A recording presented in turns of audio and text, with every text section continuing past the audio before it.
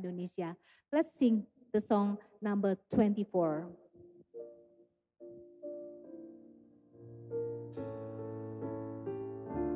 Give your heart to the God.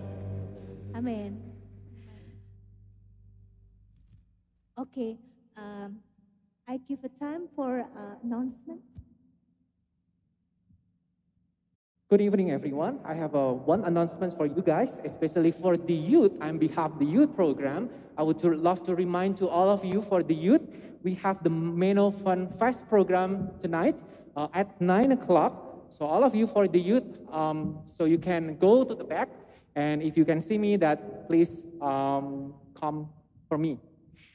Um, in bahasa, bagi anak-anak pemuda remaja, uh, nanti jam 9 kita ada Meno Fun Fest di, di Emmerich. Jadi nanti langsung ke belakang aja dan temu dengan saya. Oke, okay? thank you.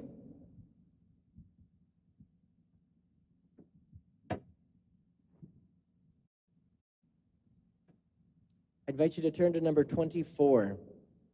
Lagu nomor 26. Lagu nomor 26. Pujian nomor 26. 26. Let's first sing the first two verses in German.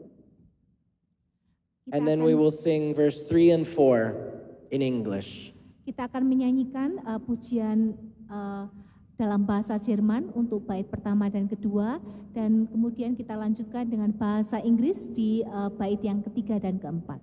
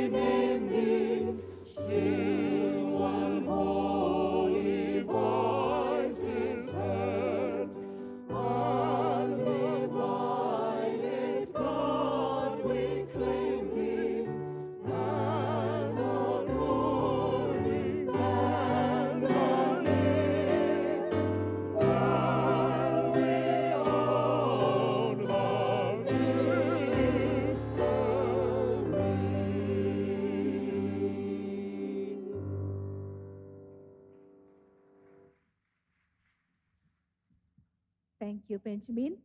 Uh, let's continue our song number 27. Number 27, How Great the Art is a famous song. Bagi Bapak, Ibu, Saudara yang dari Indonesia ingin menyanyikan dalam bahasa Indonesia, dipersilahkan. Kita akan menyanyikan pujian nomor 27, 27. 27, How Great the Art.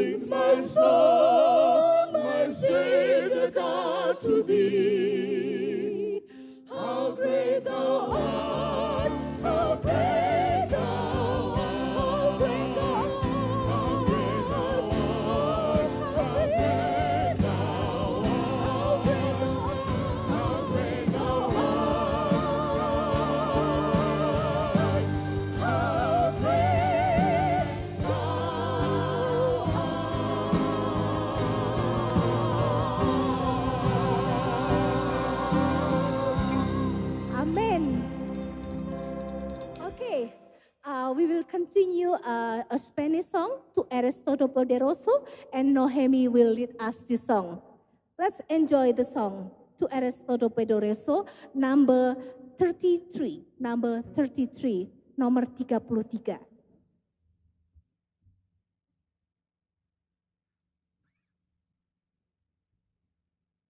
Thank you. It's great that you're all standing. Those of you who are following online, please, if you have the chance, stand up and sing with us. It's going to be fun.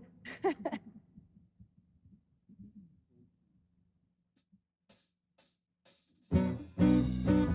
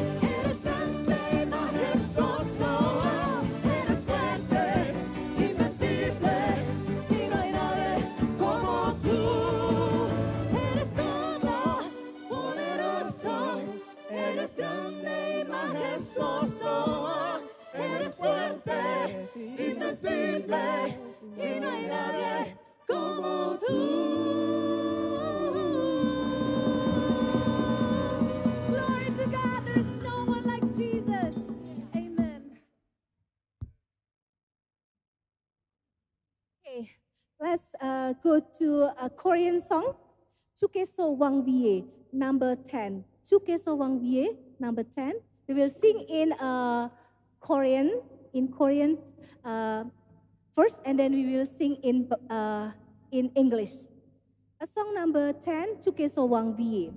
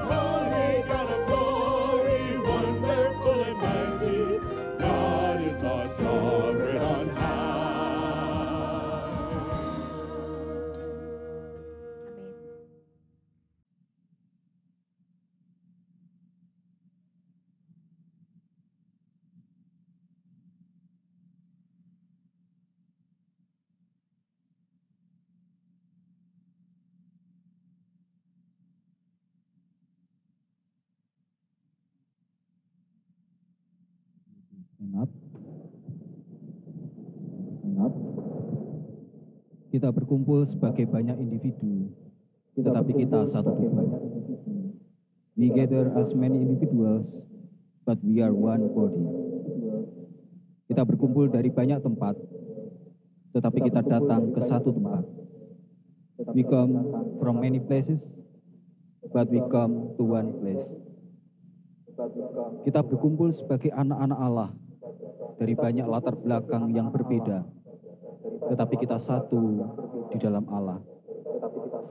We gather as children of God from many different backgrounds, but we are one in God. Kita satu tubuh di tempat ini untuk merayakan dan belajar bersama sebagai saudara-saudari di dalam persekutuan Bapa, Putra, dan Roh Kudus. We are one body in this place to celebrate and learn together as brother and sister in the communion of the Father, the Son, and the Holy Spirit. Damai sejahtera untuk kita semua. Amin. Peace be with you. Amin. Please sit back, silahkan duduk kembali.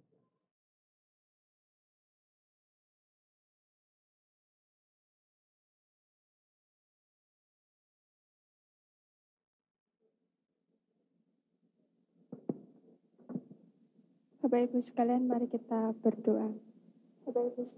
Kembali kami datang ke hadiratmu ya Tuhan, mengucapkan syukur atas berkat yang Tuhan nyatakan di dalam kehidupan kami.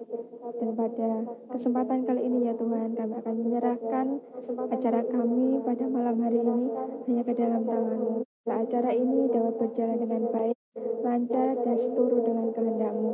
Dan bila acara ini bisa menjadi kemuliaan bagi namamu ya Tuhan. Kami kembali menyerahkan Tuhan acara ini hanya ke dalam tangan nama Tuhan Yesus Kristus. Haleluya. Amin.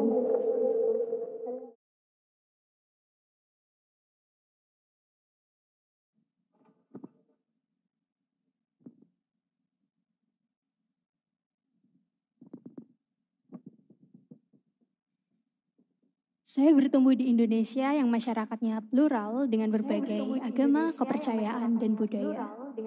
Tentu sebagai manusia, saya sangat menghargai itu karena saya mempercayai bahwa cintanya Tuhan selalu menembus sekat pemisah yang diciptakan manusia.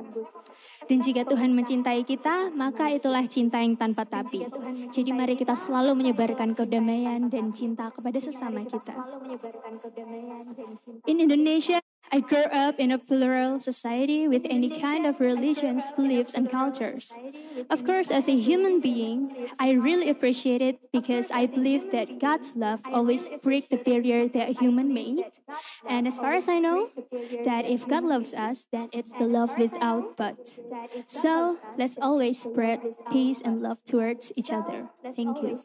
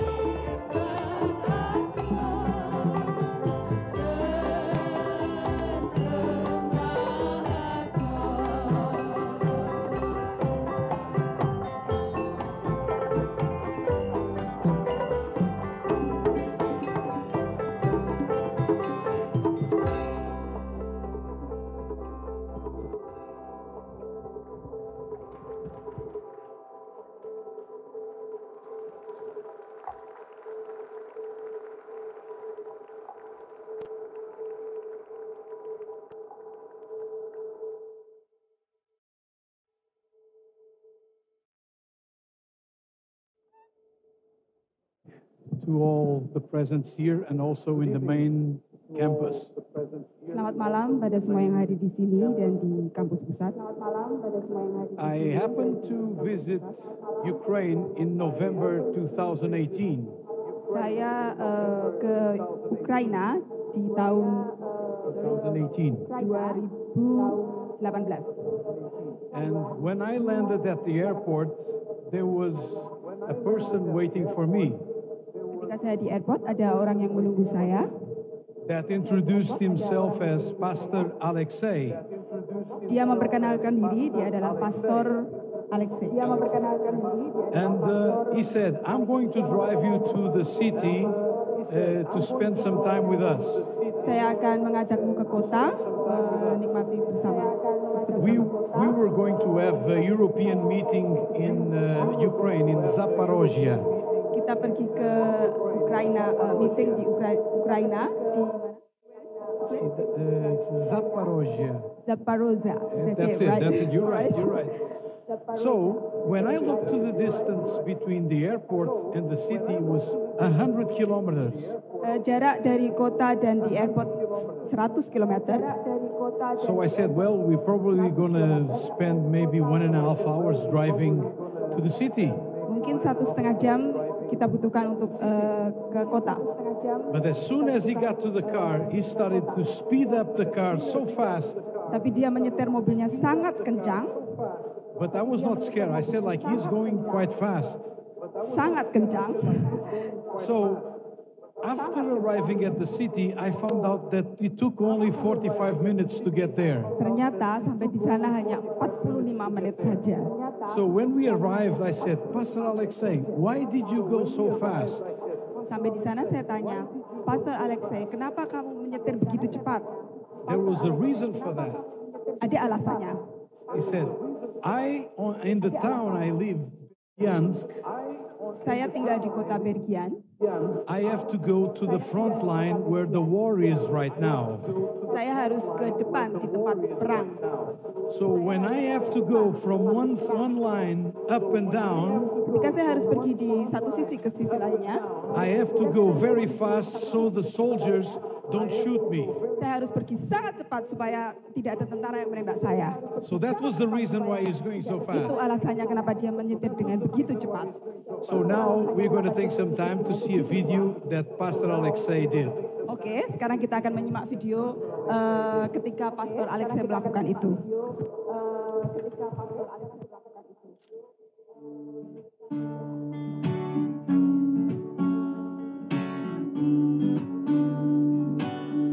Sister Christ, my name is Alexey Jutsenko. I'm from Ukraine, Berdyansk. I'm glad to see you here in this conference.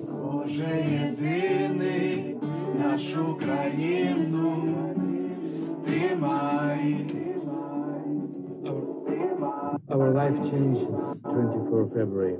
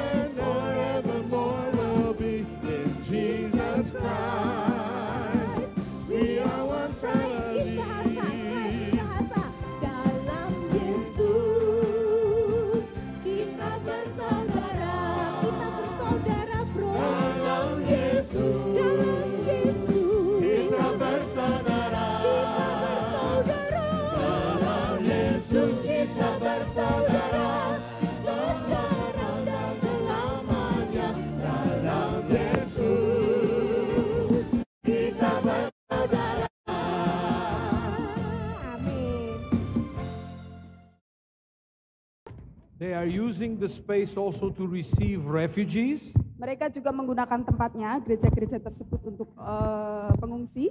They are also providing food and resting in their places. Mereka juga memberikan makanan dan tempat untuk tinggal. But they also are preaching the gospel and also are reaching the population. Mereka juga memberitakan Injil. As you know, some churches, conferences in Europe started to mobilize themselves to support Ukraine.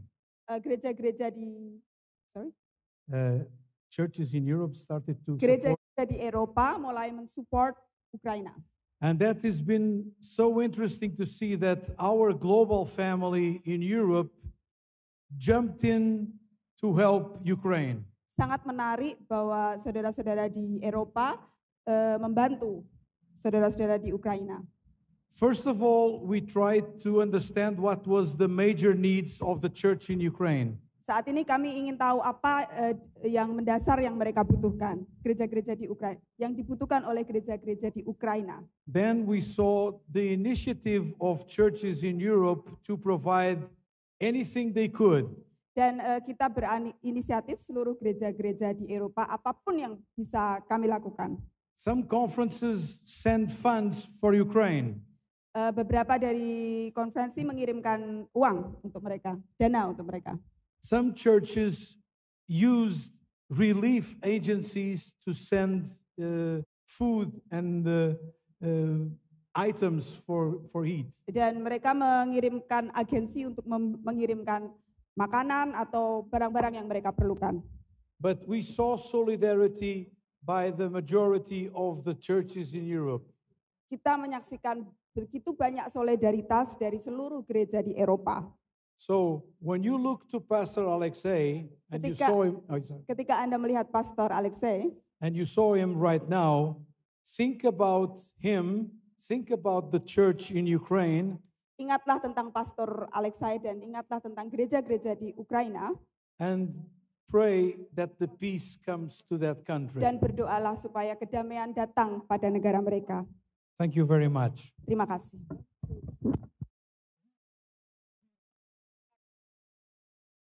In our songbook, number 25, we will sing uh, this song.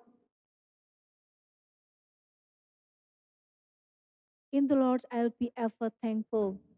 We will sing this song only in from English. Matthew chapter 7.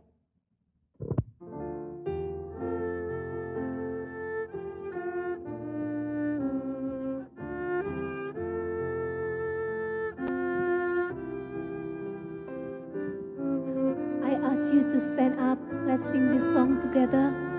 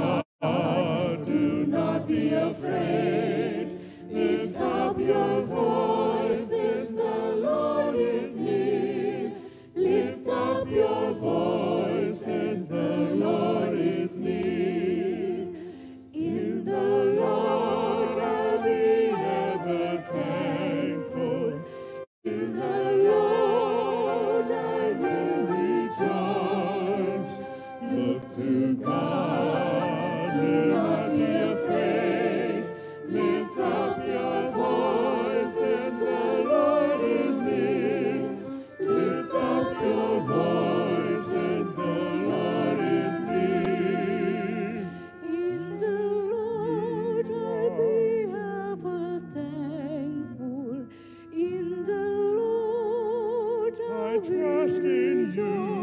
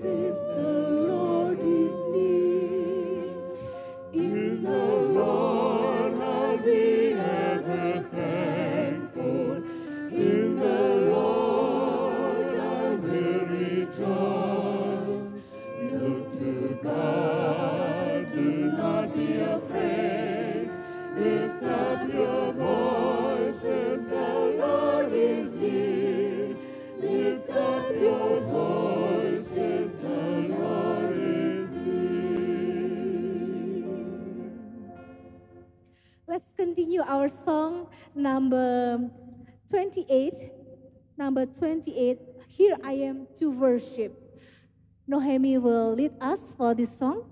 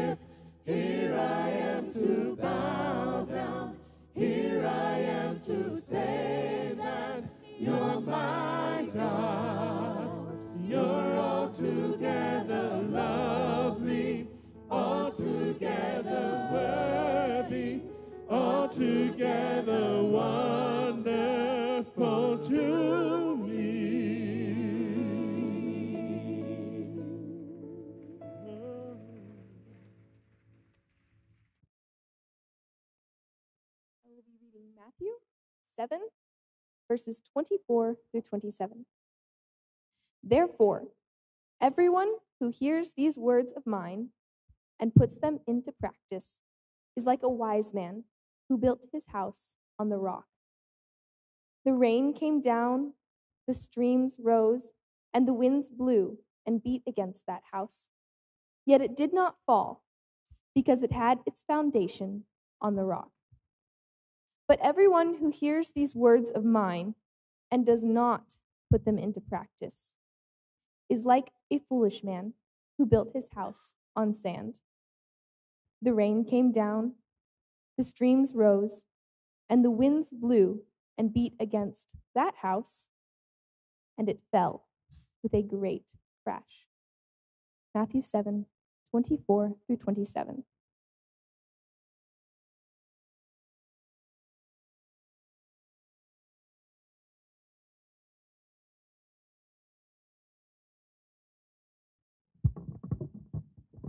Good evening. Selamat malam. My name is Anne Magdalena Hansen. Nama saya Anne Magdalena Johnson. I'm a pastor in Germany. Saya seorang pendeta di Jerman. And I'm here in place of Salome Haldeman from France. Saya di sini menggantikan Salome Haldeman dari Prancis. She was recently prevented from coming here. Dia tidak boleh datang ke sini. So I will read her sermon to you. Saya akan membacakan uh, khotbahnya untuk Anda sekalian. When he was 17, my grandfather was forced to fight in World War II. Ketika uh, kakek saya berusia 17 tahun, dia dipaksa untuk ikut perang di Perang Dunia Kedua. When I started talking about my plans to study peace and peace theology, ketika saya mulai bicara pada kakek saya kalau saya ingin kuliah tentang teologi perdamaian, he got a little upset. Dia agak marah pada saya. He said, "You talk about peace and war, but you don't know what you're talking about." Dia berkata, "Kamu berbicara tentang perdamaian, tapi kamu tidak tahu apa yang kamu katakan." When war comes, you don't have any choice. Ketika perang datang, kamu tidak punya pilihan. There's nothing you can do. Tidak ada yang bisa kamu lakukan. At the time, I believed that what Western Europe was missing during World War II was good peace theology. Uh, saat itu saya percaya bahwa Eropa Barat tidak memiliki teologi kedamaian yang bagus saja. Which we have now, so we'll be fine, or so I thought. Dan sekarang kita punya, jadi kami akan baik-baik saja. A few months ago, and about 80 years after World War II, war broke out in Ukraine. Beberapa bulan yang lalu, sekitar 80 tahun setelah Perang Dunia Kedua, perang ada di Ukraina. And while our brothers and sisters in Ukraine face the evils of war, ketika saudara-saudara kita menghadapi perang di Ukraina, many Mennonites in Western Europe are shocked by the nearness and the reality of war. Beberapa orang Mennonite di Eropa Barat shock, terkejut uh, adanya reality, reality per, adanya perang ini. Our many years of good peace theology are forgotten. Bertahun-tahun teologi kedamaian kita telah terlupakan. We feel again like my grandfather felt.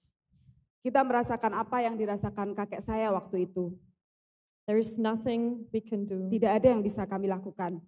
Suddenly, for many peace believing Christians, the only possible option is violent engagement. Tiba-tiba kita yang percaya pada kedamaian harus berperang.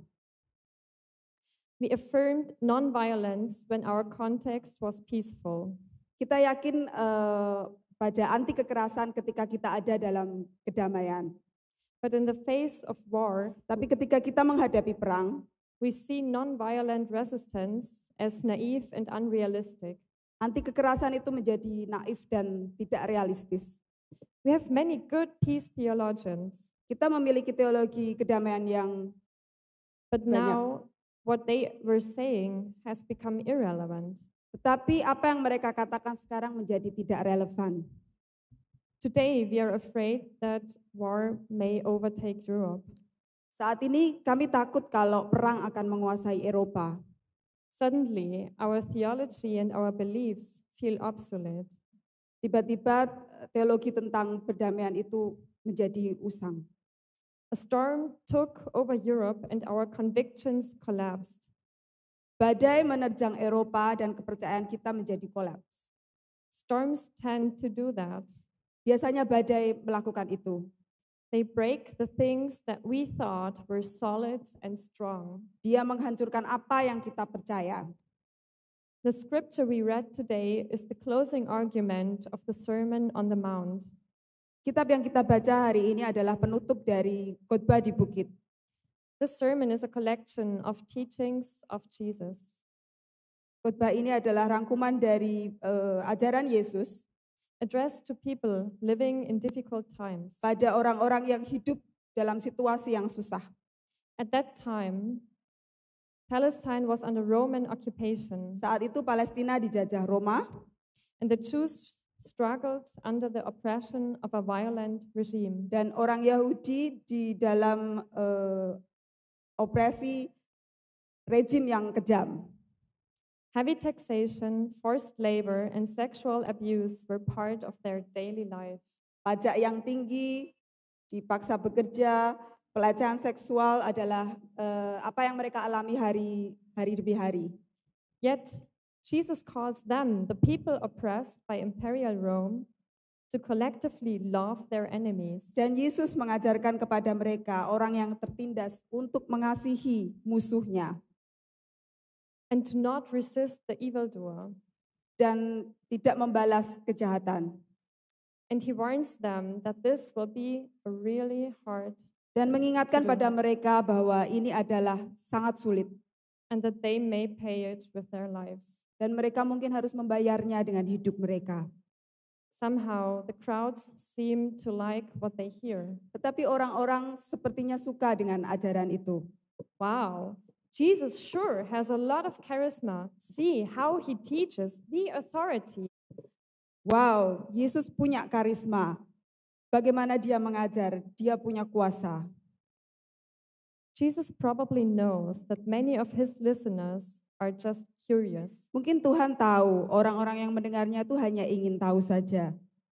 They are here to see what the fuss is about, Mereka di sana hanya ingin tahu ada apa ini. to listen, discuss, Untuk comment, mendengarkan, berdiskusi, dan berkomentar. And they won't act on his teachings or practice them. Dan mereka tidak akan melakukan apa yang diajarkan. But a storm is coming, Tetapi badai akan datang. a storm that will put all their ideas and beliefs to the test. Badai yang akan eh, mengguncang dan eh, melihat apakah mereka masih tetap percaya. For the people sitting on the mount and listening to Jesus, Bagi orang-orang yang saat itu mendengar ajaran Yesus, the war with Rome is about to get a lot worse. perang dengan Roma akan menjadi lebih buruk. For Matthew's readers, persecution will afflict those who decide to follow the way of Christ. Bagi pembaca Matius sekarang, eh, penganiayaan akan kita alami untuk orang-orang yang mengikut Kristus. And these storms will break some of the opinions and beliefs that felt so very solid. Dan badai itu akan menerjang dan menghancurkan kit- kita, kekuatan kita yang kita anggap tadinya sangat solid. However, There is a way for beliefs to survive the storm. Tapi bagaimanapun juga ada jalan supaya kita bisa menghadapi badai itu. Jesus talks about two houses. Tuhan berbicara tentang dua rumah. One built on rock, Satu didirikan di atas batu, the other on sand. Yang satunya lagi didirikan di atas pasir. The storm came for both. Badai akan datang pada keduanya. The rain fell and the floods came, Hujan datang, banjir menerjang, and the winds blew dan angin menerjang and beat against that house. dan akan menghancurkan rumah itu. But one house fell and the other one did not. Satu rumah akan hancur, tetapi rumah yang lainnya tidak. The difference between the two houses is their foundation. Perbedaan pada rumah itu adalah pondasinya. The foundation of the house that fell Pondasi dari rumah yang rubuh is not believing or not in Jesus. tidak percaya pada Yesus, tidak di dalam Kristus. Jesus tells us that the rock foundations Yesus Yesus berkata bahwa pondasi batu are the practice of his word. adalah melakukan perintahnya. In the story he tells, Dalam cerita yang dia katakan, both men have heard the words of Jesus, dua orang itu sama-sama mendengarkan ajaran Tuhan, but only the wise man acted on them. tapi hanya orang bijaksana yang melakukannya. Other translations have put them into practice. Yang maksudnya mengerjakannya dalam kehidupannya. It's acting on the words of Jesus Melakukan perintah Tuhan again and again, lagi dan lagi, day in and day out, setiap hari that prepares us for the storm. akan menyiapkan kita untuk menghadapi badai. Because the storm will come anyway. Karena badai akan datang.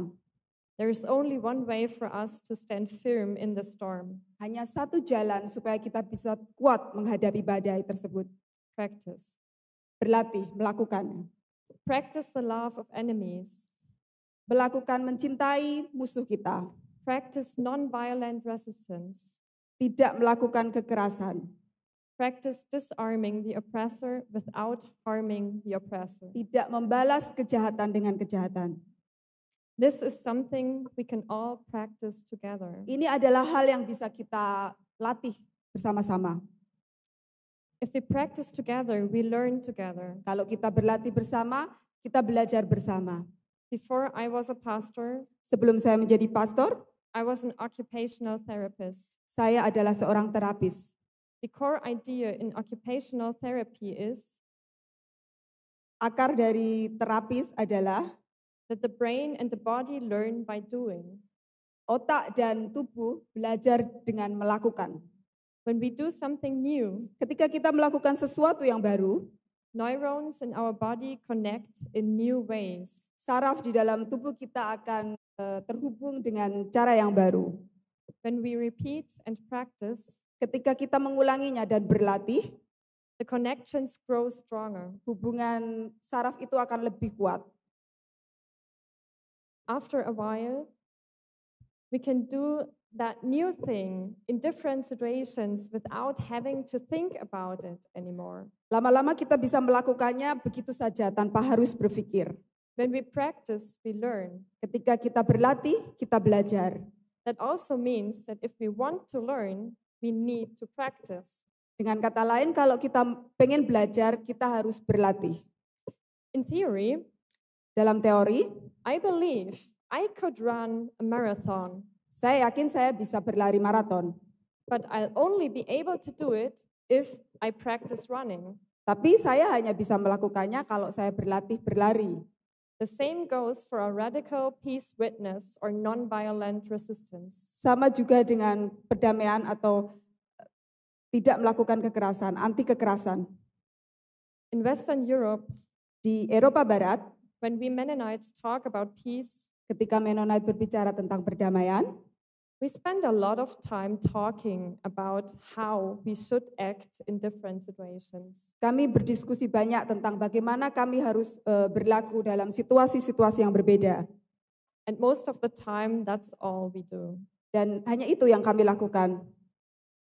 when the war actually comes, ketika perang benar-benar datang, that's when we should start doing what we've been discussing. itu harusnya saat kita melakukannya, melakukan apa yang biasanya kita diskusikan. But the middle of the storm Tapi di tengah badai, is not the right time to learn how to act. bukan saatnya untuk kita belajar melakukannya. Don't wait for the storm to figure out if your foundation is solid. Jangan menunggu badai datang untuk mengetahui bahwa fondasi Anda itu sudah benar-benar solid. Make sure it is. Yakinkan itu benar-benar solid. How? Bagaimana? With practice. Dengan latihan. Mennonites are used to hearing calls to nonviolent resistance at assembly. Dalam sidang raya seperti ini biasanya Mennonite mengajak kita untuk m- melakukan tindakan perdamaian anti kekerasan. At the 1967 MWC assembly in Amsterdam, Pada tahun 1967 di Amsterdam dalam temu raya, Vincent Harding called on Mennonites Vincent Harding mengajak Mennonites to come alongside our black sisters and brothers in the freedom struggle, untuk bersama-sama dengan saudara-saudara kita berkulit hitam to come alongside the many rev- revolutionary movements around the world. untuk kebebasan mereka bersama-sama dengan eh, gerakan revolusi seluruh dunia.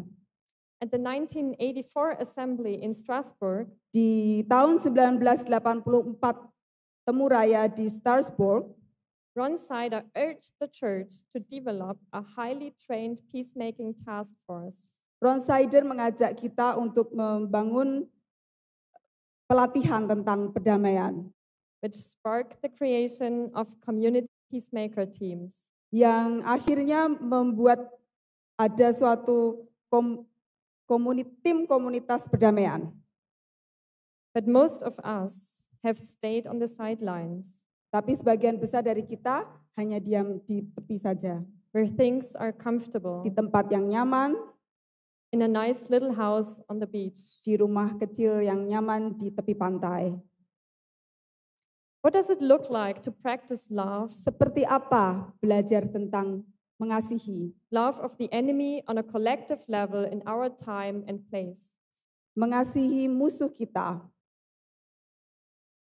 It may very well look like nonviolent war resistance. Sorry. It may Seperti kita eh, anti dengan kekerasan, cinta perdamaian. Maybe Mennonites could prepare for war resistance Mungkin Mennonite bisa menyiapkan untuk anti kekerasan with an anti-military service, dengan tanpa berperang, like a nonviolent resistance boot camp. seperti camp anti kekerasan. Nations prepare for war with military service. Bangsa mem- mempersiapkan perang dengan militer. There is first aid training for emergency health care. Ada um, what you call pertolongan pertama eh, untuk perang, untuk what you call it? health care. Seperti kayak perawat emergency di kala perang. It might be time for us to create a widespread training for regular church people Mungkin saat ini kita bisa membuat training untuk seperti itu. to learn and practice the basics of civil resistance. Untuk belajar dan berlatih dasar dari anti kekerasan. Some people do and will commit their whole life to nonviolent peacemaking. Beberapa orang ada yang eh, berkomitmen di sepanjang hidupnya untuk perdamaian. And we desperately need people like that. Dan kita butuh benar-benar butuh orang seperti itu. But we also need a foundation of practice for the whole church. Tapi kita juga perlu dasar untuk latihan bagi seluruh gereja. In most of Europe, Sebagian besar Eropa, we have more experience in discussion and debate kita punya banyak pengalaman dalam diskusi than we do in activism, dan tidak dalam aktivitas war resistance, revolution, or social change. melawan ke- peperangan, revolusi, dan per- perubahan sosial. We need the help of the global church Kami butuh bantuan dari gereja global if we want to find our footing in the field of practice, jika kita mau belajar, we know that we have brothers and sisters who have experience in non-violent resistance. kami tahu kami punya saudara-saudara yang punya pengalaman anti kekerasan. Please train us, Tolong ajari kami, practice with us, belajar dengan kami, so we can learn together. sehingga kita bisa sama-sama belajar. That's how we'll hold fast when the storms come. Dengan itu kita bisa menghadapi badai yang datang. Amen. Amin.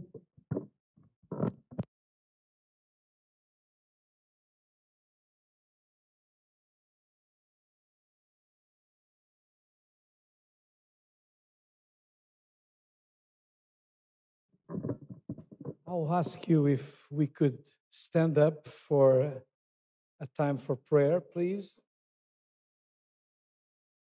Let's pray now. Dear Lord, we want to thank you because you are God and that you can really take care of us, even in situations that we cannot control, even in situations that we feel helpless, we feel tired, we don't know what to do. And I would like to lift to you in this moment Europe and all the situation that is going around the war in Ukraine, but that is also affecting the rest of the world. We are all asking for your intervention, and you know that you you are going to to do that in your own time. Meanwhile, we have to keep helping, praying, supporting each other, supporting the ones that are in this trouble situation. And I pray specifically for our global family that we all can talk in one voice to end this conflict as soon as possible. We know that the situation looks dark. We know that it's probably not by humans that this situation might be solved. It's only with your miracle and with your intervention. So we pray that you can really uh, have the chance to reconcile the parts that are now in conflict. We also want to pray for the leaders, political leaders that are dealing with this. We pray that you give wisdom to them, give wisdom, give diplomacy to each of them to find out a way to finish this tragedy. We know that everything is possible to your eyes, and the only thing we ask and keep praying is that your will be done in the future. We pray this in Jesus' name. Amen.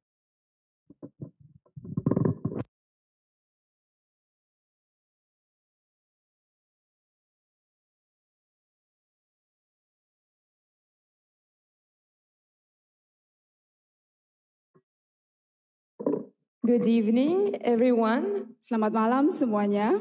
My name is Gaëlle, Nama saya Del. and I'm the delegate for France. Saya utusan dari Prancis. Tonight, I will share with you a summary of the GYS written by the YAPS committee. Malam ini saya akan berbagi tentang hasil GYS Global Youth Summit, eh, konferensi pemuda global. It is our joy to report on a successful global youth summit. Dengan senang hati saya membagi eh, keberhasilan YGS ini.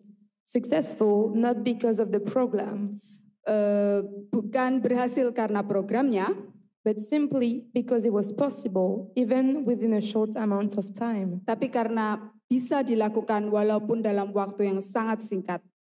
And successful because of the community and momentum for the work among young people that was built through it. dan berhasil karena kerjasama dari seluruh pemuda di dalamnya. It was also successful because the Holy Spirit was present. Dan berhasil karena Roh Kudus ada. And working among us, dan bekerja bersama-sama dengan kami, bringing unity.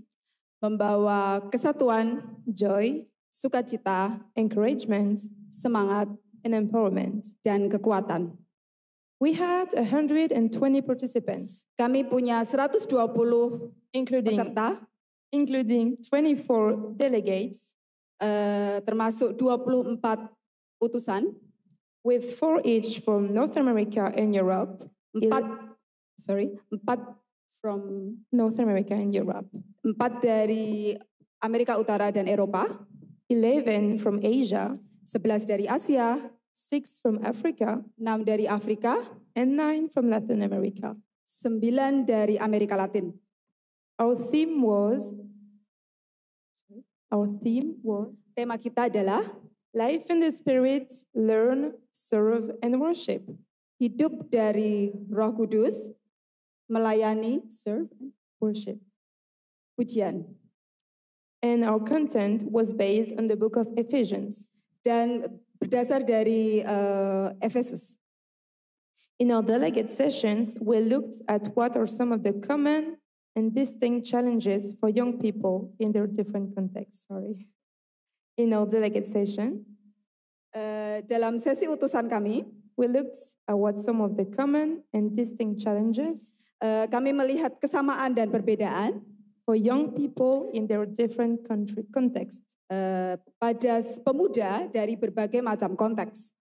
Some common issues that surfaced were eh, persa- isu yang sama yang muncul loneliness and the need for belonging, eh, adalah kesepian dan keinginan untuk memiliki, the need for good leadership, eh, keinginan untuk memiliki pemimpin yang bagus, bridging the generation gap, menjembatani perbedaan generasi, and the need to redefine church eh, dan kebutuhan untuk me- me- mengartikan gereja, in a way that the function of it eh, di mana pemuda dapat masuk di dalamnya, can shift to the spaces can shift to ya un- untuk pemuda bisa masuk di dalamnya, where young people are present di mana eh, pemuda bagian dari gereja without the institutional structure. tanpa dibagi secara institusional. Not only did the delegates look at challenges, Eh, tidak, de- utusan itu tidak hanya memberikan perubahan, but they brainstorm some ideas and solution to them. dan tetapi mereka memberikan ide-ide untuk me- solusi hal tersebut and how they can be a part of bringing change dan bagaimana mereka bisa menjadi bagian untuk memberikan perubahan? By building relationships and sharing resources. eh, membagi eh, persahabatan dan daya yang ada. More than just discussing, lebih dari hanya berdiskusi. The delegates and participants enjoyed their time. Eh, utusan dan para peserta menikmati mereka me- menikmati waktu mereka learning from their different cultures, belajar dari budaya yang berbeda-beda. Sharing snacks from their countries, belajar tentang makanan dari berbagai macam negara. Sharing words of encouragement and strengthening, eh, berbagi tentang motivasi dan saling menguatkan. And praying for each other. dan saling mendoakan satu sama lain. One of the most impactful moments of GYS satu hal yang berimpact was after the delegates share with the participants. Satu hal yang saling sangat berimpak dalam GYS ini adalah ketika mereka saling mendoakan. And we spent time praying for each other's country. Dan kita berdoa untuk negara masing-masing. And personal situations on a large map. dan situasi personal masing-masing di seluruh dunia. The Spirit was very present. Eh, Roh Kudus benar-benar hadir. As we united in prayer, ketika kita sama-sama berdoa and people authentically pray for the change dan eh, orang-orang itu berdoa untuk suatu perubahan they wanted to see in the world and in Yeah. themselves. yang mereka ingin lihat di dunia dan pada diri mereka sendiri. As such, we really felt that Jesus met with us during GYS, Da- Dan Yesus benar-benar hadir di antara kami. and we are looking forward to seeing what continued fruit the Spirit bears in us. Dan kami menanti-nanti apa yang Roh Kudus buat pada kami. through relationship and collaboration melalui persahabatan dan kolaborasi in the work of building the global church. di dalam dunia dalam membangun gereja global. For me, personally, Untuk saya, GYS was a time of encounter. GYS adalah eh, saat untuk bertemu, Encounters with brothers and sisters from all around the world, bertemu dengan saudara-saudara dalam Kristus di seluruh dunia, creating friendship with them, membangun persahabatan dengan mereka, and discovering new cultures. Dan eh, tahu budaya-budaya baru. And encounters with God. dan bertemu dengan dan bertemu dengan Tuhan.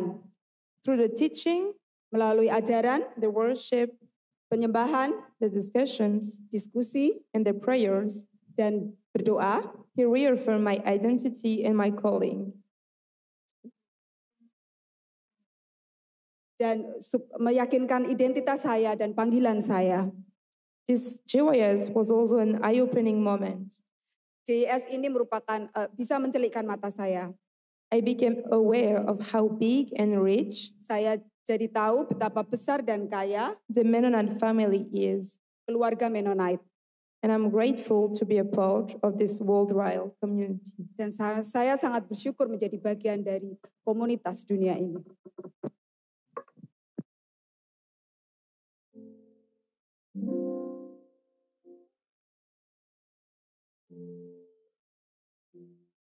The churches in our global Anabaptist family face wide and diverse challenges. While the Faith and Life Commission has few resources, it is rich in gifted representatives of our global communion. Our task is to assist our global family in strengthening biblical and theological capacity to faithfully witness to the God of peace and salvation in a world facing unbelief, violence, and the growing climate crisis. For example, the Commission is helping Anabaptist churches engage the recent conversations between Catholics, Lutherans, and Mennonites on baptism.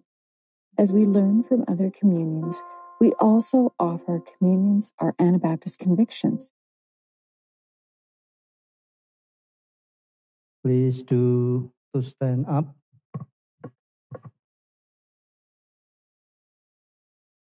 Kami naikkan syukur kepadamu ya Tuhan.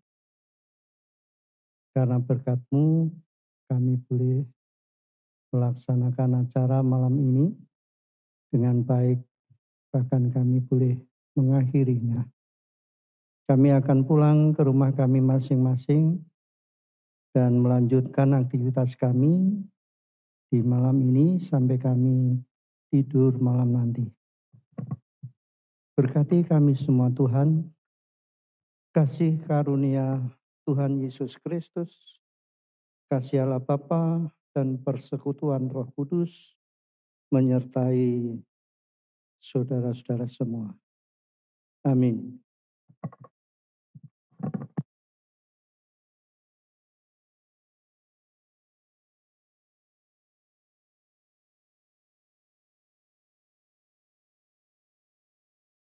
songs. First, number 29. Number 29. Uh, both are final songs, actually written by Mennonites. This first one from France, uh, from a, a community of folks who created resources specifically for French speaking uh, Anabaptists, a collection called Chants Anabaptistes.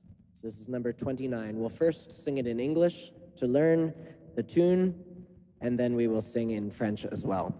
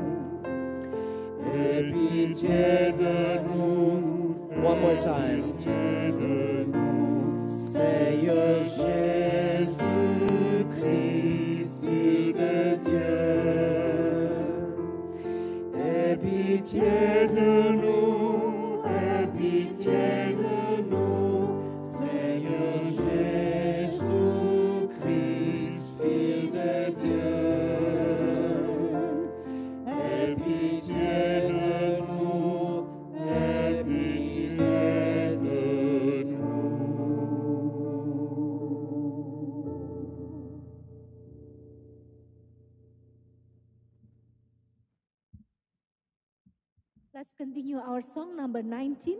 A song number 19. We, your people, sing your praises. We will sing in uh, three languages. First, we will sing in French, and then we will sing in Bahasa. Ya, uh, bagi Bapak Ibu nanti bernyanyi bersama kami ya ketika bernyanyi dalam bahasa. And then the last one is in English. Okay, let's sing three languages. First is French, Bahasa, then English.